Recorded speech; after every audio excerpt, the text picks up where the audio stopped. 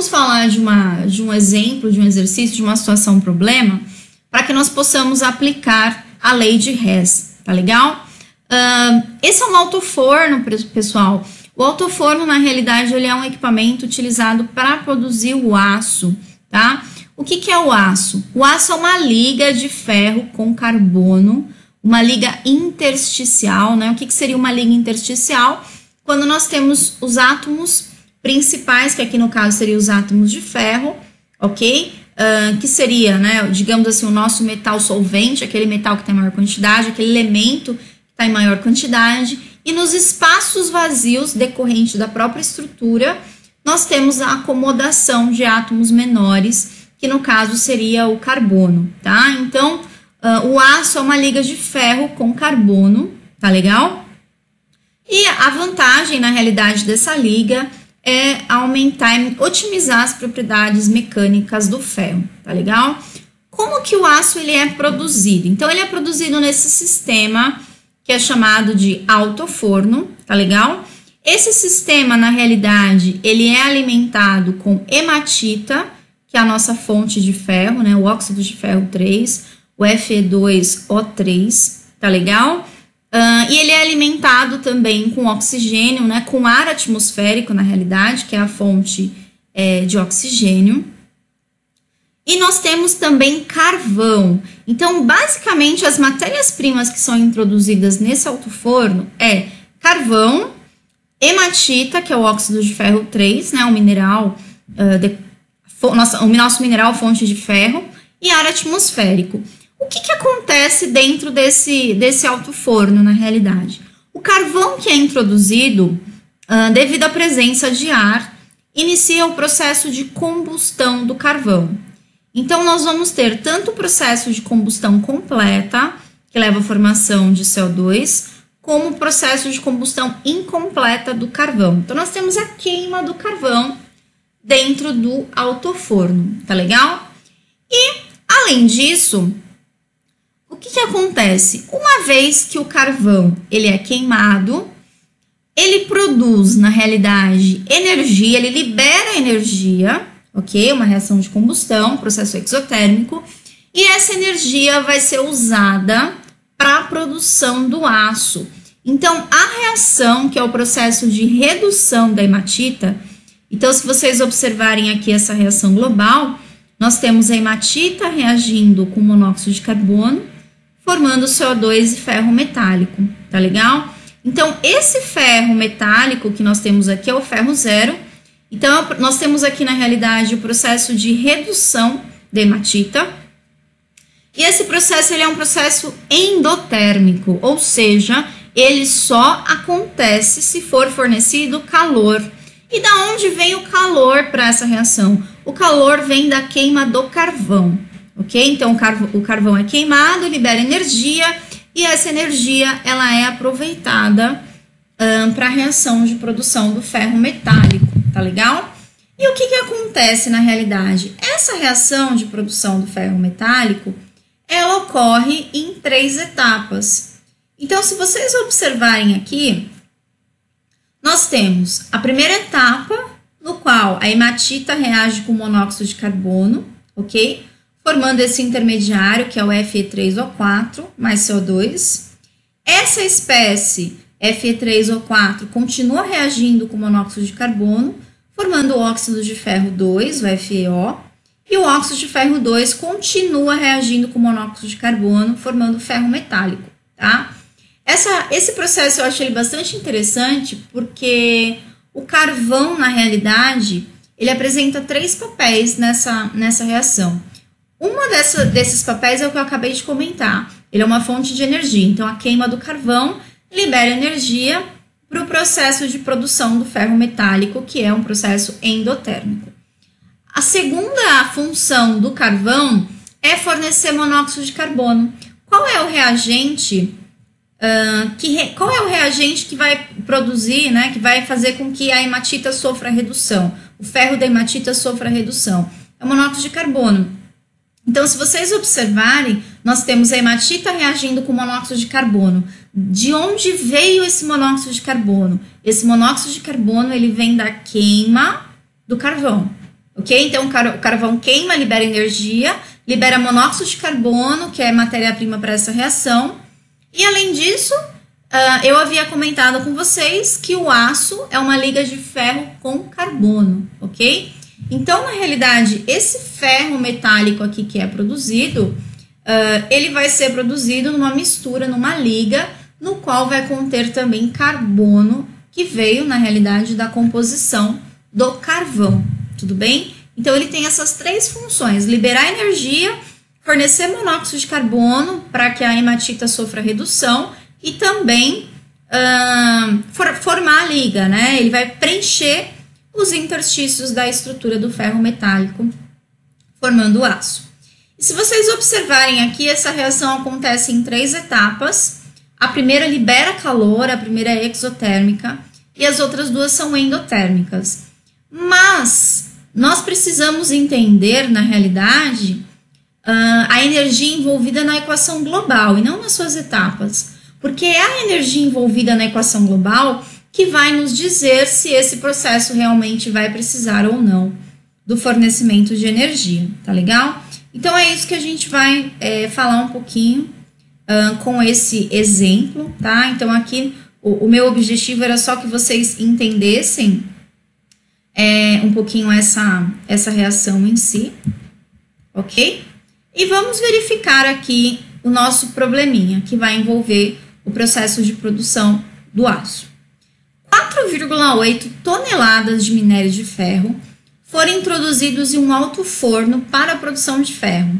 Sabendo que a energia necessária para a redução do minério de ferro a ferro metálico é proveniente da queima do carvão, do carvão coque, calcule a energia necessária para que todo o minério de ferro presente seja convertido a ferro metálico e também a massa de carvão necessária. Considere que a queima do carvão tem uma taxa de 60% de conversão para o CO2. Então vamos entender o que está acontecendo. Nós temos 4,8 toneladas de minério de ferro, que é hematita, o Fe2O3, ok? Esse material ele foi introduzido no alto forno e uh, nesse alto forno nós vamos ter carvão e também ar. E ele está pedindo a energia necessária para que esse processo aconteça, para que todo esse minério seja convertido em ferro metálico, ok? A energia necessária e a massa de carvão que eu preciso para fornecer essa energia, ok? Então são essas duas perguntas: a quantidade de energia, a entalpia total e a massa de carvão que eu preciso. E aí ele diz assim: considere que a queima do carvão tenha 60% de conversão para CO2 que, que essa informação nos diz? Que do da massa total de carvão que nós temos no sistema, 60% dela vai reagir de modo completo, produzindo CO2, ok? E aí nós temos essa energia envolvida, menos 393,6 kJ. E o restante, os outros 40%, combustão incompleta, que leva à formação de CO, ok? Então, nós temos aqui as reações envolvidas na etapa de produção do ferro e nós vamos aplicar a lei de Hess para resolver esse exercício. Antes de qualquer coisa, tá? Nós precisamos é, encontrar na realidade o ΔH da reação global, né? Na realidade, a minha reação global aqui tá aparecendo ΔH para vocês, mas não era para aparecer, não tá? É, na realidade, nós vamos calcular. Então, nós vamos entender de onde saiu esse valor, esse mais 129,2 kJ, tá bom? Desconsidere nesse momento que está aparecendo esse valor. Na realidade, o nosso objetivo agora é encontrar o ΔH da reação global, ok? Então, nós temos as etapas, essas são as etapas aqui envolvidas, e nós vamos chegar nessa reação global a partir das etapas. E com isso, determinar o calor envolvido na reação global. Então, o que, que a gente precisa analisar? Na reação 1, pessoal, na primeira reação, o que, que nós temos em comum com a reação global? Se vocês observarem, o CO e o CO2, eles aparecem em todas as reações. Então, eles não podem ser um parâmetro de comparação para mim nesse aspecto, porque ele não é característico da primeira reação. O que realmente é característico da primeira reação, da primeira etapa e da reação global é, na realidade, o óxido de ferro 3, o Fe2O3, ok? Então, o que, que acontece? O que, que eu preciso observar para que eu possa aplicar a lei de Hess nesse processo? Essa etapa 1, essa etapa 1, nós temos a mesma quantidade de hematita, que é o Fe2O3, temos em ambas as reações, nós temos 3 mols de óxido de ferro 3. Outra pergunta: está do mesmo lado da reação, comparando as duas? Sim, na reação da etapa 1 está do lado do reagente e na reação global está do lado do reagente. Mesma quantidade está do mesmo lado da reação. Eu vou copiar, ok? A reação 1 da maneira como ela está. Então, eu estou representando a primeira etapa aqui da maneira como ela está. Por quê? Eu tenho que acertar as quantidades. E o que, que eu observei? Que o óxido de ferro 3 é o componente exclusivo que se repete na global e na primeira etapa da reação. Então, ele tem que estar do mesmo lado da reação, ok? Ele tem que estar do mesmo lado e na mesma quantidade. Então, como está tudo certinho, eu representei a primeira reação do jeito que está. Agora nós vamos analisar a segunda reação. Na segunda reação, pessoal, o que, vocês precisam observar? Existe uma espécie química, que é o Fe3O4, que ele é um intermediário de reação. O que, que são intermediários de reações? São espécies que são geradas durante as etapas, mas são consumidas no processo. Então, o óxido de o Fe3O4, ele é, uh, na realidade, ele é gerado na primeira reação e consumido na segunda reação. Ele não faz parte da reação global. Se ele não faz parte da reação global, ele é um intermediário de reação. Portanto, a mesma quantidade dele que foi gerada na reação 1 tem que ser consumida na reação 2. Então, o que, que eu vou fazer? Eu vou multiplicar a reação 2 por 2. Por que, que eu multipliquei por 2? Porque na primeira reação foram produzidos 2 mols de Fe3O4. E toda essa quantidade de Fe3O4 tem que ser consumida na etapa seguinte, porque ele é um intermediário de reação. Então, toda a quantidade gerada precisa ser consumida posteriormente. E com isso, eu multipliquei toda a reação por 2, inclusive o ΔH, ok? Então, agora o ΔH não é mais 36,8, mas 73,6 kJ. Agora, nós vamos analisar a terceira etapa da reação. Na terceira etapa, nós também temos um intermediário, que é o óxido de ferro 2, o FeO. O que, que acontece? Essa espécie ela não aparece na reação global. Se ela não aparece na reação global, significa que ela é um intermediário de reação. Ela é produzida na primeira reação e consumida, ou melhor, ela é produzida na segunda reação e consumida na terceira. Então, toda a quantidade que está sendo produzida na segunda etapa tem que ser consumida na terceira etapa. Portanto, eu vou ter que multiplicar por 6, porque eu tenho 6 mols de FeO produzidos na segunda etapa. Toda essa quantidade ela tem que ser consumida na etapa 3. Então, eu multipliquei toda a etapa 3, ok? Por 6. Inclusive o ΔH. E agora o que, que nós vamos fazer? Nós vamos somar essas três reações. E se nós fizermos o raciocínio corretamente, nós vamos, a soma dessas três reações vai me dar a reação global, ok? Então, o que, que nós podemos? Tudo que se repete nas mesmas quantidades e em lados opostos, eu posso cancelar. Então, se vocês observarem, nós temos 2 mols de Fe 3O4 sendo produzido na primeira etapa e consumido na segunda. Então, são cancelados, ok? Tenho 6 mols de óxido de ferro 2 sendo produzido na primeira na segunda etapa e consumido na terceira. Então, eles também podem ser cancelados. Sobrando, né, somando isso, nós vamos ter 3 mols de Fe2O3 mais, somando todo o monóxido de carbono aqui, vai dar 9 mols de monóxido de carbono, que vai dar 6 mols de ferro mais 9 mols de CO2 aqui, somando das três reações. Quanto é o ΔH dessa reação?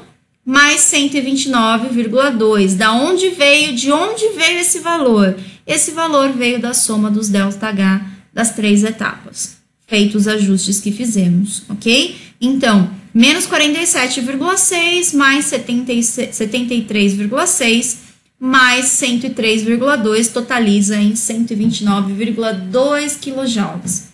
O que, que isso significa, pessoal? Isso significa que, apesar desta reação, ela ter uma etapa que libera calor, como um todo, o processo global ele é endotérmico, ok? Ou seja, é necessário fornecer energia para que essa reação aconteça. De onde vem essa energia? Essa energia vem da queima do carvão, tá legal? O que nós vamos fazer agora? No exercício, ele pedia duas coisas: a massa de CO2 e a energia necessária, ok? Para que uh, 4,8 toneladas, ok? De hematita sejam convertidas a ferro, ou seja, quanto que eu preciso de energia para converter 4,8 toneladas de óxido de ferro a ferro metálico. De acordo com a reação, pessoal, a massa de Fe2O3 nessa reação corresponde a 480 gramas, né? Então, nós temos a massa molar da hematita vezes 3, porque nós temos 3 mols aqui, a massa molar é, da hematita é 160 vezes 3, 480 gramas. Tá legal? Uh, aqui eu simplesmente passei para quilos. Então, 480 gramas equivale a 0,480 uh, quilogramas, ok? O que, que, isso significa? E por que, que eu passei para quilos? Como a gente está falando em uh, 480 aqui uh, toneladas, tá legal?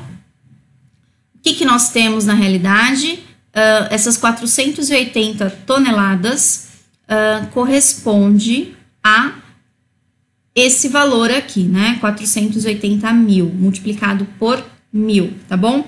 Pessoal, acho que no enunciado tá 4,8, vou até voltar, mas considere, depois eu arrumo aqui, ó, considere aqui, tá bom? Uh, 480 toneladas, tá legal? Deixa eu ver se eu consigo mexer. Não, não vou conseguir mexer agora, senão eu vou tirar do ar, tá? Mas é, considere aqui como 480 toneladas, tá? Uh, que foi isso que eu considerei aqui no cálculo, só pra gente não, não, não se perder aqui em relação ao valor, tá legal? Então, nós temos aqui esse valor, ok? E o que, que a reação está nos dizendo? Que 0,480 quilos corresponde a essa quantidade aqui de energia, é o que está na reação, ok? Para que reaja 0,480 kg de hematita, eu preciso de 129,2 kJ de calor, ok? Para essa quantidade de hematita, quantos quilojoules eu vou precisar? Então, aqui vocês têm uh, o valor sendo aqui representado. Da onde vem esse valor? Da queima do carvão, tá legal? Então, esse valor ele vem da queima do carvão. Então, o que, que a gente vai analisar agora? Como que essa quantidade de energia, tá legal? Qual a massa que vai me fornecer essa quantidade de energia? Eu preciso dessa quantidade de energia para aquela quantidade de hematita ser convertida a ferro metálico. Agora, essa energia vem do carvão. Então, qual é a massa de carvão que eu tenho que colocar no sistema, tá legal? E aí tem um dado importante. No enunciado dizia que 60%, ok, da massa de carvão uh, presente, basicamente, no enunciado do, do exercício, tá legal? Era convertido em CO2. Então, 60% da massa de carvão era passava pelo processo de combustão completa. E o restante, os outros 40% dessa massa, do processo de combustão incompleto. Então, o que, que isso é, significa na realidade, tá? O que, que isso significa? Se eu tenho uma massa que eu não sei o valor, chamei de M, tá legal? 60% de M participa da reação 2, ou seja, 0,6, ok? Se eu tenho um total M, 0,6 participa da reação 2 e 0,4 da reação 1. Não sei quanto vale M. Mas o que, que eu sei? Que o ΔH da reação 1 mais o ΔH, né, a energia liberada na reação 1 mais a energia liberada na reação 2 é igual a 1,2 vezes 10 a sexta quilojoules. Tá legal? E aí, o que, que nós temos? Pela reação, o que está dizendo? O que, que essa reação está nos dizendo? Agora eu estou considerando a reação 1. A massa de, de carbono nessa reação é 12 gramas. Então, 12 gramas de carbono libera 110,6 de energia. Quanto que eu tenho de carbono na reação 1? Eu tenho 0,4 de uma massa que eu não sei, que eu chamei de M. Então, 0,4 de M corresponde ao ΔH1. Nós resolvemos essa continha aqui como uma regra de 3, né? Então, multiplicando em cruz e isolando o ΔH1, nós vamos chegar no valor de 3,7 m. Ou seja, eu não consigo sair daqui porque eu tenho duas incógnitas. Eu não sei quanto é o ΔH1 e não sei quanto é m, ok? Mas eu vou fazer a mesma representação agora para a reação 2. 12 gramas de carbono na reação 2, ok? Liberam 393,6 de energia. 0,6, que é a massa que participa, 0,6m, né? Uh, que é a massa de carbono da reação 2, libera o ΔH2, que eu também não sei quanto é. Resolvendo essa equação, né, como uma regra de 3, multiplicando em cruz, isolando o ΔH2, eu sei que o ΔH2 é igual a 19,7 m. ΔH1 mais o delta H2, tá legal? Tem que dar a energia que eu preciso. Então, qual, quanto é a energia que nós, que nós calculamos anteriormente? 13, ou perdão, 1,3 vezes 10 a sexta quilojoules. Essa é a energia que eu preciso. E essa energia tem que vir das, das, das duas reações. Então, somando a energia da reação 1 mais a energia da reação 2, tem que dar o total de energia que eu preciso. Ou seja, quanto é o ΔH1? 3,7m. Quanto é o ΔH2? 19,7m. Então, agora, substituindo o ΔH1 e o ΔH2 por esses valores aqui em função da massa, agora sim é possível determinar a massa, ok? Então, 3,7m mais 19,7m vai dar 20 23,4m, isso é igual a 1,3 vezes 10 a sexta, tá legal?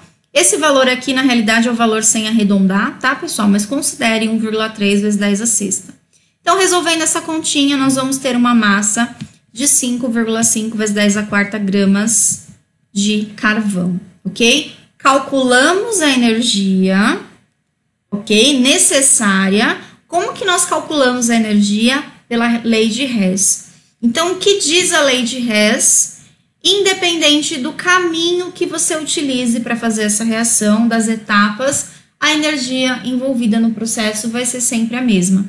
Então, eu posso calcular o ΔH de uma equação se eu conhecer o ΔH de equações intermediárias a essa.